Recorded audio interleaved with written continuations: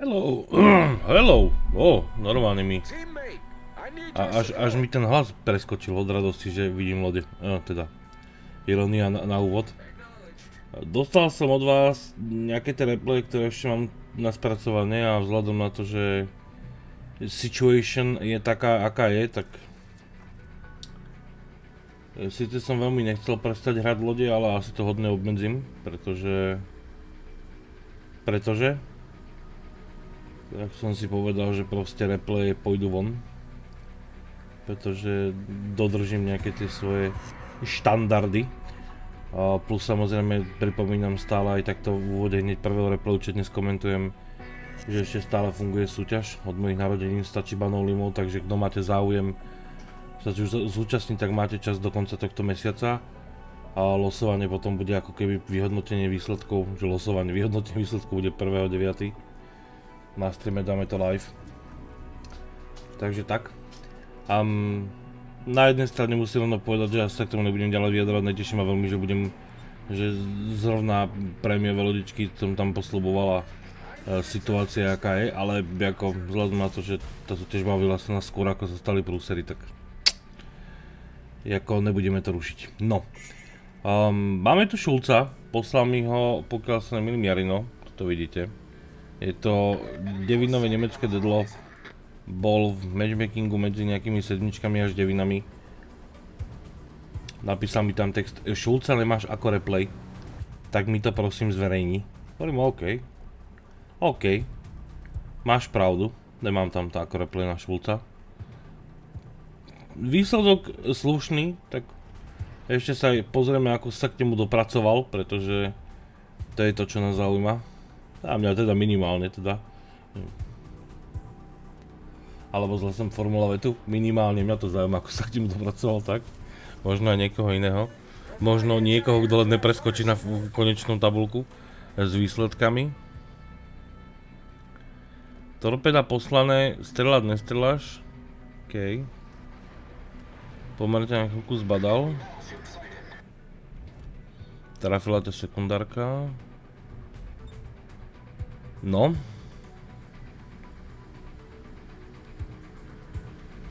Toto ma strašne zaujíma, že keď si začal takto na úvod veľmi, veľmi e, opatrne. Čo sa tu podialo? Podľa tej minimapy je za tebou Entracht, e, Holandiane. King George, pomerne ďalšie Entracht a Alsaska, mhm.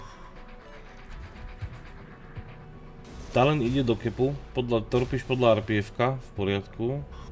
Endrakt hodil Hydro.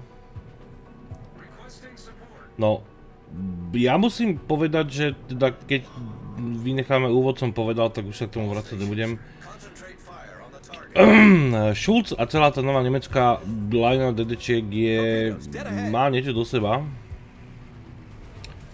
Um, prisahám, že mne ten Elbing na desiatke príde ako malý Stalin keď začnem porovnávať zrovna tie vlastnosti tých kanónov a tých HPčiek a to, čo to dokáže narobiť na krížnikoch a hlavne na krížnikoch.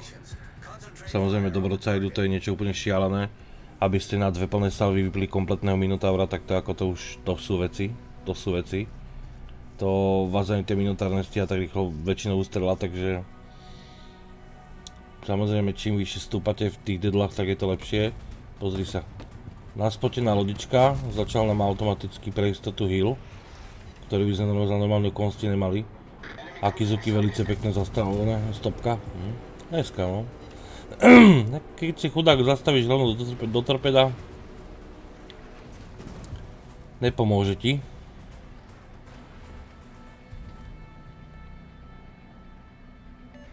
Akizuki dostalo len taký malý preplesk.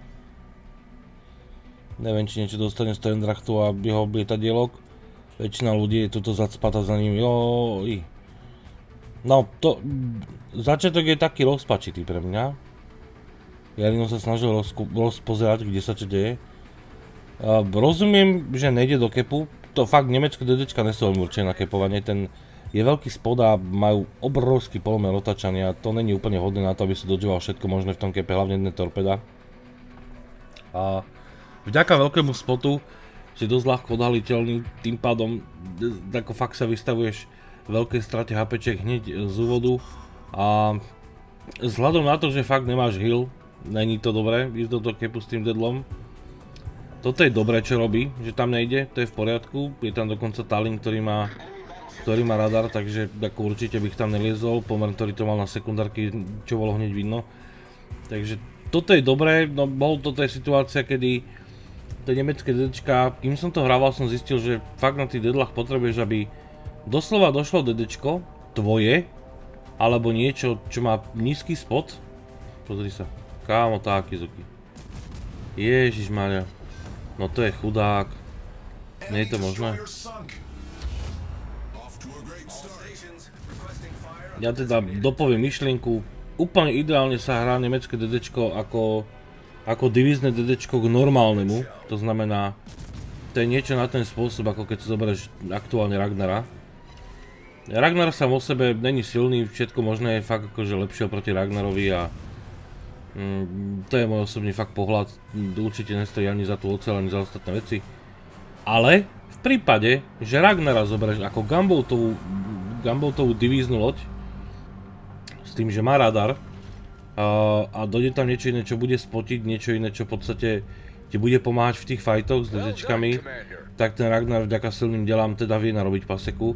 A to isté v prípade nemeckých DDček. V prípade, že by si tam mal reálne deadlock, ktoré ti bude spotiť iné DDčka, tak ty si schopný vďaka aj tomu, že dedemáci utekajú alebo nepriatelia utekajú v tých svojich torpedoborcoch, ty si schopný vďaka veľmi silným delám a veľmi silným APčkám aj pod uhlom proste tým ľuďom narvať neuretelné bomby. A tým pádom z tých fightov DDčko versus DDčko by si vychádzal výťazne pravidelne a dokonca hneď z niekoľkých za jednu hru. Ale všetko to práve závisí na tom spote, pokiaľ animácké DDčko ťa nájde skôr čo je veľká pravdepodobnosť, pretože máš väčší spod ako väčšina DDčiek aktuálne na tom týre, keď nerátaš teda nejaké Gamotových francúzov, alebo prípadne sem tam nejakú line Rusku. Tak tým pádom si odkazaný na to, že prípade, že ťa spotne a nebudeš sa chcieť veľmi s tebou prestrelovať, pretože vie, čo mu hrozí v prípade, teda, že by to bolo na väčšiu vzdialenosť, tak bohužiaľ hrozí ti, že nejaký jeho kamarát, nejaký teammate mu tam proste pomôže s tebou a a tá absencia healu v tomto prípade bude u teba ako veľmi, veľmi citeľná a poznateľná, pretože všetko sa dá robiť len do tej mery, čo ti umožňujú vlastné HPčka a vlastné limity lode a pokiaľ tá loď má, má síce viacej HPčiek ako bežné DDčko na danom týre, to je pravda, ale sú nedohilovateľné a vzhľadom na to, že ty si skôr ako gunboat, keďže tie torpeda Sice majú nejaký taký akože nie ten najhorší damage, ale tá rýchlosť je absolútne otrasná, takže tie torpeda sú fakt také, že niekam to pošlem a snad do toho niekto príde. A, a úplne šťastie, keď takto ti tam do nich ľudia idú, ako Akizuki už zožral rovno z úvodu 2. Takže toto sú presne tie parametre, kedy tie nemecké deadla sú fajn, ale sú hodne také špecifické, pozri sa. Normálne si ten Johan David došiel proste pre torpedo.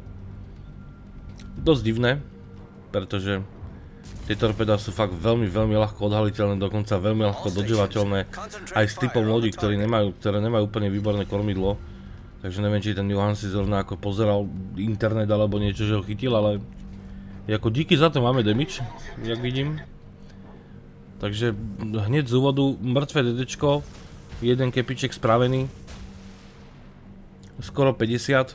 Čo už na DDčko už máme akože základ veľmi, veľmi slušného damageu. Alebo veľmi slušné hry. Už v tejto chvíli by sme to mali na úrovni akože uh, mierne, mierne zelenej, až modrej. Pretože DD versus DD plus dobuchané jedno DDčko ďalšie. Tam nejaké HP... HPčka tam zmizli. Neviem ani čo to bolo vlastne v tom kepe. Musíme sa pozrieť, to bolo Z31 sedmička, ale furt je to dedlo. A? Že by to bol Fletcher? Ako posledný zostávajúci zástupca torpedoborcov? A je tam. No. No Fletcher veľa HPček nemá. Jarino ale je na 13 tisícoch. Jarino už je fakt akože polovica HPček dole. Takže to, toto je... Aj, ťažko, ťažko sa furt opakuje, opakujú tie veci, ale hovorím, pri dobrých delách a pri tej konštelácii, ono je najlepšie, najlepšie, čo môžeš robiť s DDčkom vo všeobecnosti. Úplne, že vo všeobecnosti. Najideálnejšia možná hra pre DDčko je to, keď sa ti podarí natriafať torpeda, ale fakt vo veľkom počte. Úplne ideálne, keď sa bavíme o japonských torpedách, to je ako vzhľadom na ich damage a ich základ je to šialené. No a samozrejme lodičku, ktorá aktuálne chytila od teba flooding, tzv. záplavu, Najlepšie zalezť do smoku, podporiť to nejakým ohníkom, tým pádom mať doslova nafarmený damage kombinov a nafarmený damage práve to kombináciou ohňov a záplavy. Najideálnejší spôsob, čo môže spraviť a stále ostať neodhalený, stále si držať tie HPčka práve na tie súboje prípadné, ktoré prídu buď ku koncu hry také tie rozhodujúce a podobne. To je, to je ten ideálny spôsob, ako keby, a keď sa ti podarí takto zarať dedlo, tak tá hra proste má úplne iné grády. A ale toto je práve vždy situačné, pretože nie vždy sa, nie vždy sa ti podarí úplne, úplne naľahko potrefať torpeda. Torpeda sú v podstate... Bože, ako, ako to formulovať správne? Uh, torpeda sú najmenej účinná výzbroj? Takto, takto skúsim naformulovať?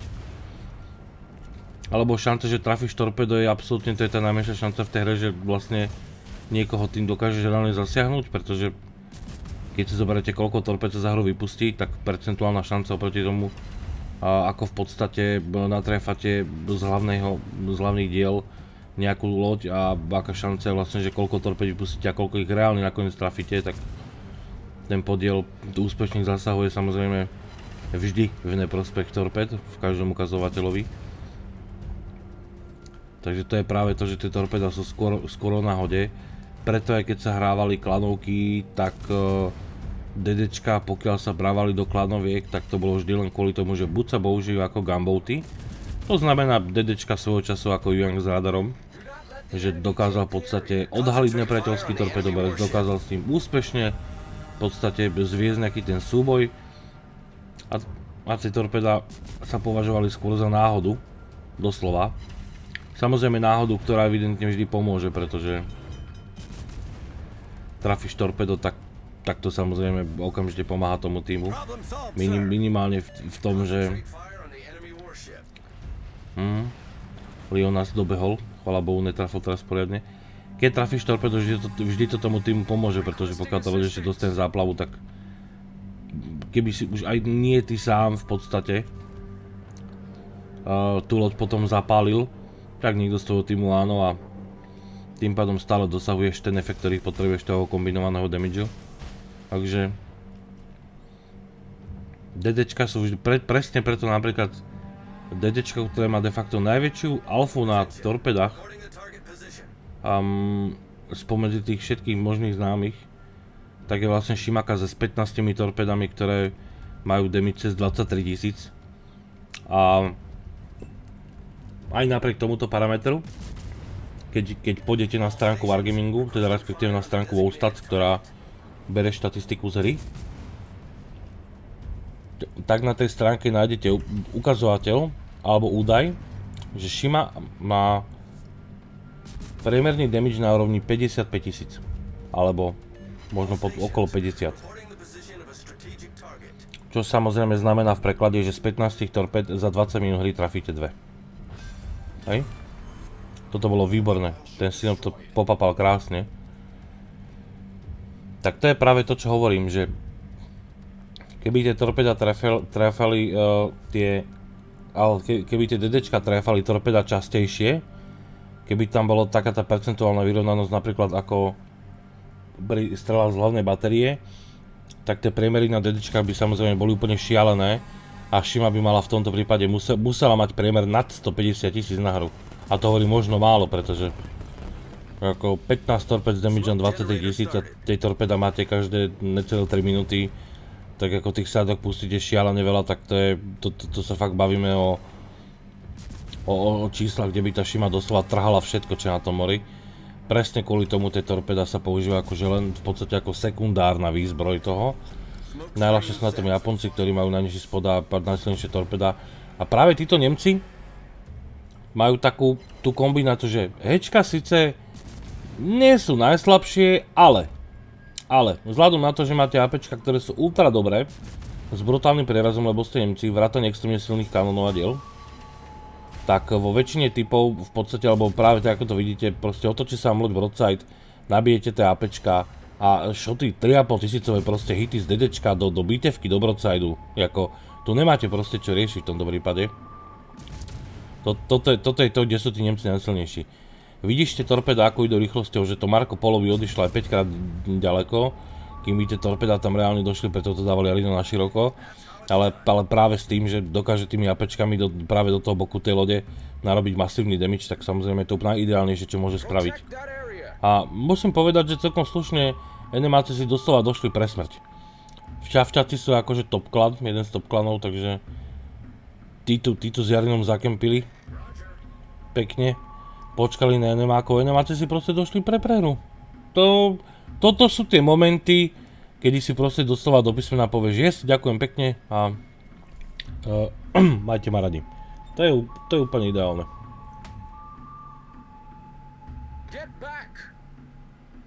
Mm.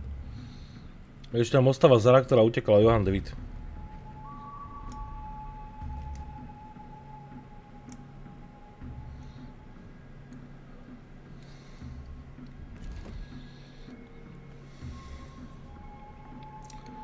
Vidíš to? Šafťák rovno píše Jarinovi, že mu tam dá smoke. Lebo, lebo, lebo teda v podstate akože on už nemá. A tým, a tým, že Bahan vie, že je to Gumbolt. Hm? To je krásne, to je krásne, keď máš v týme niekoho, kto kto používa ten, ten mozog, to je neuveriteľné. On mu bude pekne spočiť, dá mu smočiť, geniálna spolupráca, ako... Tu není o čom, toto je super, fakt, toto je super.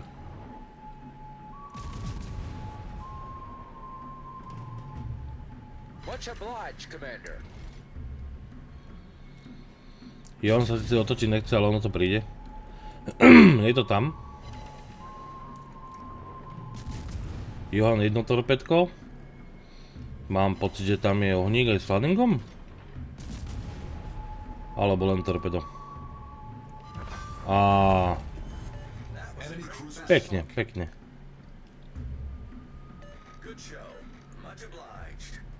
Veľmi pekne. Spolupráca funguje. No a keďže Jarino má aktuálne ešte minútu smoku, tak... Haha, je to tu no. Chcel som povedať, akorát dopovedať, že stačí mu, aby mu to ten Mahan spotol ešte jednu lodičku tu zaru a už teraz sa musíme venovať tomu, že máme zatiaľ 3 kg a 152 maximálne dojde ešte kill. A každopádne damage damage nadpriemerný. Takže v tejto chvíli už to je vydarená hra s tým šulcom. Fakt vydarená, fakt vydarená. Za toto hru by sa nemusel fakt hambiť nikto, kto by ju hral, pretože 150 s deadlom je fajn na akékoľvek úrovni. Samozrejme, samozrejme keby tam bol 200-300, tak tu jasame ujúkame všetci spoločne, ale toto je fakt niečo, za čo sa netreba hambiť. A minimálne pre tento efekt na konci, kedy kedy si fakt dve DDčka pomohli, to čo má menej HPček, vieš, že strelať nemôže, má tam gunboat. Podporí ho smokom. Super. Á, došla Zara. No jo. Jarino teraz uvažuje nad čím? Že Zaru zabijú torpeda? Už ani nevystrelil? No ukáž. Lol, no vážne. Vážne, kámo, tak to je halus. Tak to ti je halúz. No pekne. Tak nakoniec 158. Vidíš? 8 torped, ale 222 zasahov. Spojenec za první krev. Čo tam máme? 2295. Samozrejme, vidíš, že šafťak modrý. Sedmičkový Mahan, takže pod ním. To, že je dokonca prvý s devinou medzi sedmičkami znamená, že zahral veľmi dobre viac ako nadpriemer. Takže to je veľmi, to bolo fakt vydarené. Sinop 36, Akizuki 23, to boli torpeda, nejaké dela. Johan 20, Marco Polo, hmm, Lyon skoro 15, Stalin, Z31, zarobených Skoro 300 tisíc čistom s prémiakom a hodiny ešte aj kapitán dokonca. Dostal som ešte aj kapitána, ako má postaveného Guntera Lutensa. A vidíš to, byli ste pochválení, byli ste pochválení. No, tak. Ja ti môžem povedať len jedno, ja ťa chválim takisto. Hra bola super. Hra bola... Hra bola super a, musím povedať, že ako na toto sa fakt dobre pozera. Pokiaľ tí ľudia spolupracujú ku koncu, chcú vyhrať, animáci si tomu samozrejme akože dopomohli doslova sami tým, čo spravili, jak tam na konci došli, takže chvála Bohu a pekné, pekné. Toto, toto k ranej káve ako hneď poteší, to ti poviem hneď z úvodu, super. Jarinko, díky moc za poslanie replay, dúfam, že vám sa tým páčilo a vrátanie kapitána to tam máte navyše, takže úplne super, paradička. Pekné ráno, pekné, pekné, pekné. Zatiaľ chlapci, devčatá, v ďalšom videu.